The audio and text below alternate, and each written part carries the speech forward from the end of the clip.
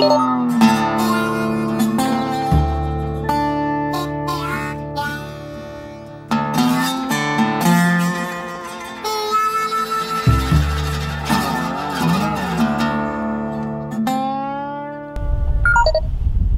y'all, Chef IrixGuy here. Now you can check out the preparation videos for where I was uh, preparing the brisket to smoke.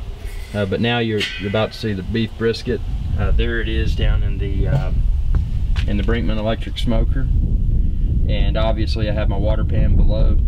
Uh, you can check out my other video where I demonstrate what uh, what I put in the water pan. But this will just be a low and slow 225 degree smoke. And it's got I've got a box of hickory chips underneath right now. And I'm going to um, to replenish those when they when they run out to just keep that constant hickory smoke going. So ought to be really good. Uh, check out all of my barbecue smoking videos at youtube.com forward slash guy.